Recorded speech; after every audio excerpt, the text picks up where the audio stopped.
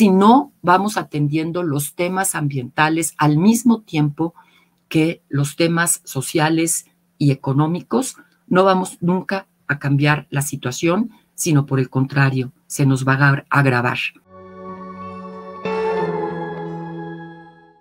Bienvenidos a Imagina el Mundo de este maravilloso festival, Hey Festival. El día de hoy vamos a charlar sobre uno de los temas que realmente es una de las preocupaciones más grandes que la humanidad está enfrentando. Tiene que ver con la sostenibilidad del desarrollo, la sostenibilidad ambiental y la sostenibilidad social. Como nunca antes, la humanidad ha tenido un impacto sobre la naturaleza en que su huella eh, la ha, modificado el funcionamiento del planeta de una manera sin precedentes. Eh, esto no es que la primera vez que esté ocurriendo ciertos cambios que hemos estado escuchando, el cambio climático, la pérdida de biodiversidad. Esto ha sido un proceso de acompañamiento del planeta desde que, desde que el planeta surgió y desde que la vida surgió en el planeta. Lo que es distinto es que en esta, en esta etapa en la que eh, estamos viviendo de la vida, es una especie quien está generando estos impactos, es la especie humana, Homo sapiens. Estamos teniendo una intervención sobre todos los eh, procesos de funcionamiento físico, químico, biológico eh, del planeta y de la vida propia, que no tiene precedente y además lo estamos haciendo como una especie de todas las que existen en el mundo. Esa transformación tan profunda se manifiesta en muy distintas eh, formas. Eh, sabemos que estamos eh, en un proceso de incremento de la temperatura que está generando ya problemas. Nos hemos acostumbrado a escuchar que ocurren procesos en los polos, que ocurren procesos en zonas muy distantes a nuestra cotidianidad y que dentro de algunas décadas ocurrirán situaciones más difíciles. Pero eso es un error, lo estamos viviendo ya. El cambio climático es un hecho, la temperatura del planeta ya medida, la ciencia nos lo ha evidenciado, tiene un grado centígrado por encima de lo que tenía antes de la revolución industrial. Esto nos está generando cambios que también afectan a nuestra cotidianidad. ¿Por qué? Porque se incrementan, eh, por ejemplo, las tormentas tropicales, los huracanes, eh, las zonas que están en, áreas de vulnerabilidad se ven mucho más afectadas. Una gran cantidad de la población del mundo vive en situaciones muy difíciles por eh, estos cambios que están habiendo, no solamente por un exceso de lluvia, sino también por sequías, sequías tremendas. Muchos de los procesos de migración los tenemos que explicar desde el punto de vista también del cambio climático. La gente está perdiendo su capacidad de producir alimentos y de tener el acceso al agua, y por eso es que existen más de 800 millones de personas en condiciones de extrema pobreza, de hambre. Hay 1.300 personas 1.300 millones de personas en el mundo en condiciones de pobreza, pero en hambres tenemos una cantidad de gente en el planeta eh, que no tiene precedente. Además, hay una enorme población, cerca de 2 mil millones de personas que no están eh, con acceso a agua y agua limpia, están viviendo en situaciones de estrés y en tierras degradadas. Esta actividad estamos llevando a cabo de un modelo de desarrollo en el cual no hemos considerado las condiciones del medio ambiente. Extraemos de la naturaleza mucho más de la que la naturaleza nos puede estar reponiendo y estamos devolviéndole a la naturaleza un conjunto de eh, desechos, de eh, sustancias, de residuos sólidos, residuos peligrosos, algunos en la tierra, algunos los desechamos en el mar y esto está generando impactos también eh, muy importantes. Dos terceras partes eh, de la Tierra tiene algún tipo de erosión. Una tercera parte del mar está sobreexplotado. Y así podemos seguir con las cifras que la ciencia nos está indicando. Lo que es muy importante de nuestra era es que hay una base científica que nunca antes había podido explicar tan claramente por qué los humanos estamos generando estos impactos. Estos modelos de desarrollo que no están contemplando un proceso equilibrado y armónico entre la extracción de los recursos y la devolución de recursos a la naturaleza de una forma adecuada, nos está llevando a crisis de este tipo. El crecimiento poblacional, sin duda alguna, es un problema, pero sobre todo lo es el tipo de consumo y de hábitats, de hábitos que tenemos los humanos. En los humanos que vamos a las ciudades, hacemos un cambio de actitud, o los que vivimos y hemos nacido en las ciudades. La, el consumo de alimentos es un patrón que está asociado en las zonas urbanas a los productos cárnicos. Consumimos mucho más productos cárnicos, huevos, eh, leche, quesos, carne, que lo que se consume en el medio rural. La población en el mundo está creciendo, seguirá creciendo. Hoy somos 7.800 millones de personas en el mundo. Vamos a llegar seguramente al año 2050 a 9 mil millones de personas y en la presión que se tiene con los modelos y con las formas que estamos llevando a cabo de consumo, también tecnológicas, las formas de producción. Esas formas de producción no están contemplando las tecnologías más adecuadas con el medio ambiente que permitan seguir un proceso de crecimiento y que no estemos agotando los recursos naturales o eh, afectando su funcionamiento. Se ha expresado entonces en la pérdida de la biodiversidad. Si siguen las tendencias como van, se pueden estar extinguiendo para finales de este siglo un millón de especies más. Hay que, hay que considerar que eso es algo que ni siquiera nos lo podríamos eh, eh, mm, aceptar como una ética de respeto al resto de la vida, que los humanos estemos provocando la extinción de un millón de especies que han surgido en un proceso evolutivo de más de cuatro mil millones de años, es algo que, que simplemente no lo podemos aceptar. El cambio climático, si siguen con las tendencias actuales, nos puede llevar a una situación, pues, eh, no de extinción de nuestra especie, pero sí de una situación muy compleja de poder vivir eh, sin tecnologías muy sofisticadas, muy caras, y eso va a generar muchas más desigualdades y mucha más vulnerabilidad en amplios sectores de la población que hoy ya son vulnerables, la población pobre, la población que vive en sitios eh, difíciles. El, el tema es que también la ciencia nos está diciendo que se pueden hacer las cosas completamente diferentes. Tenemos conocimiento como nunca se ha generado. No lo estamos aplicando, no lo estamos incorporando, no estamos cambiando nuestros modelos de desarrollo.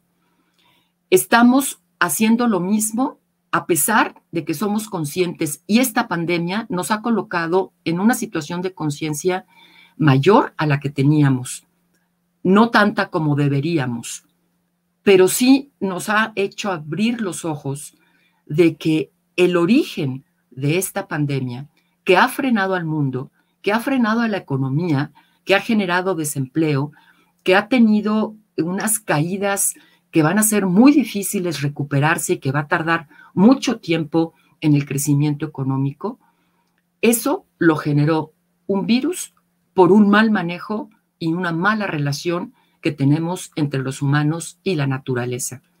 Eso ha entrado en la conciencia de mucha gente, pero tiene que haber una salida para que al salir de la, de la crisis sanitaria en la que nos encontramos por esta pandemia, realmente logremos encauzar rápidamente hacia el desarrollo sustentable.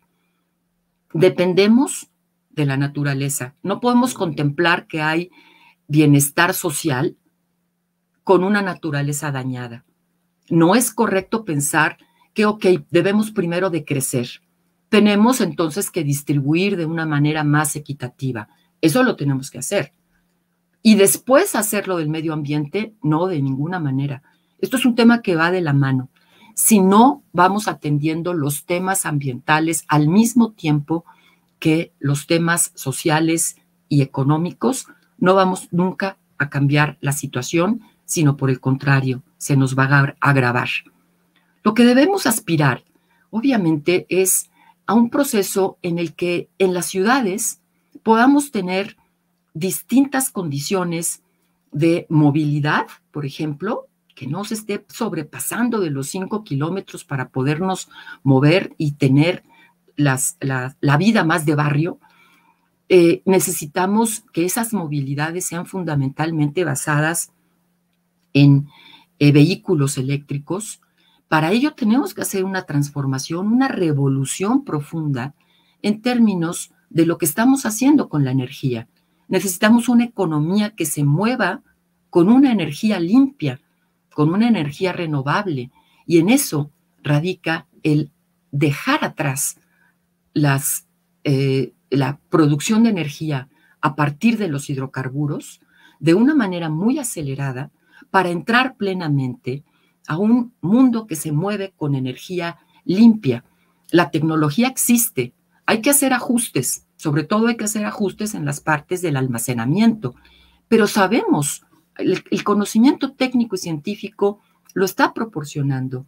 Lo que tenemos que es que incorporarlo en las políticas públicas de todos los países. Esto no puede ser solamente de algunos que empiezan a estar a la vanguardia en estos temas. Lo tenemos que hacer todos.